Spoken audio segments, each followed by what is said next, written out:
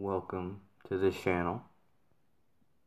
It'll be very random until I get more requests of what you would like to see.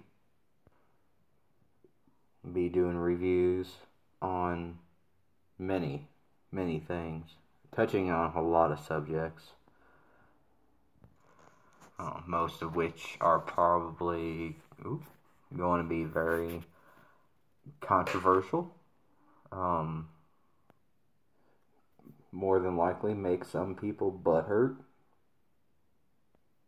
But the one thing you will see is honesty. So, an observation.